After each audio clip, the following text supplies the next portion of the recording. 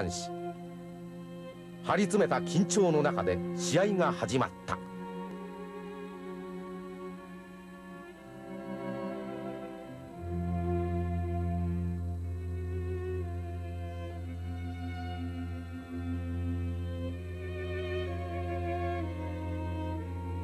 向かうところ敵なく勝って勝ち続けてきた茅場選手が水も漏らさぬ構え逆二頭に構える。この腐敗の構えに対して望月が気合で攻めていく。珍しく茅場が交代である。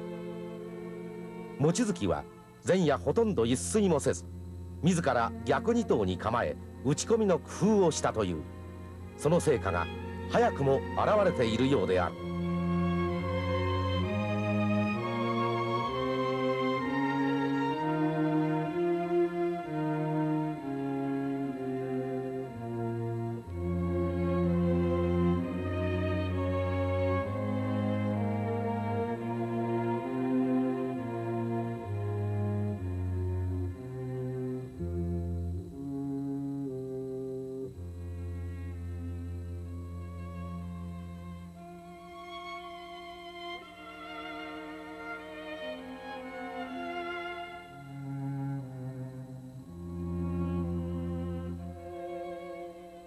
激しい攻め合いの末茅場の繰り出した反面が流れたところを逃さず望月が小手一本を選手する。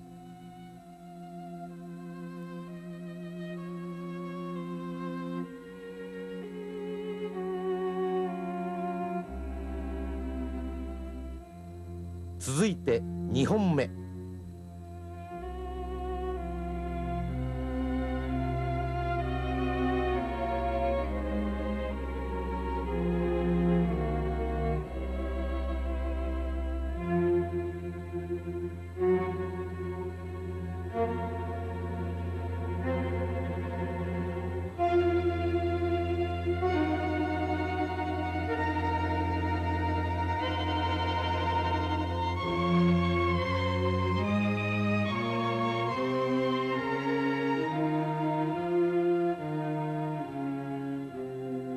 望月を追い込んだ茅場の銅が決まった。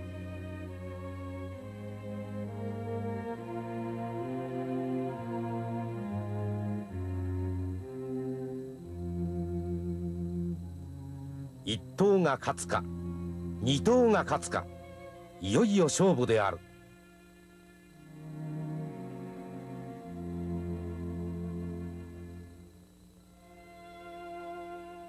いずれ劣らぬ技の駆け引き。壮烈な死闘。吐く息は嵐のごとく響き汗が滝のように流れる。と構えを解いた両者が中央で相対したままお互いに思わず一息ついた。後日望月は剣を構えようとしてもどうしても竹刀が上がらなかった。もし正常の御前でなかったら私は竹刀を捨ててその場に倒れてしまったかもしれませんと語っている。茅場の逆二頭もさすがに構えが崩れてきた。双方とも疲労の極みに達していたのである。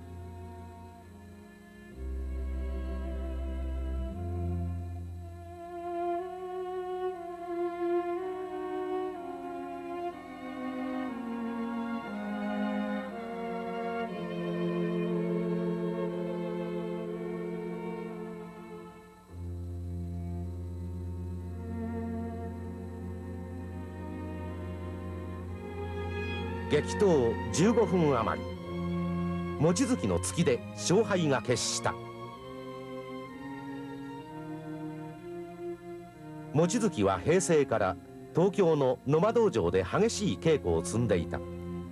その鍛錬の成果が無意識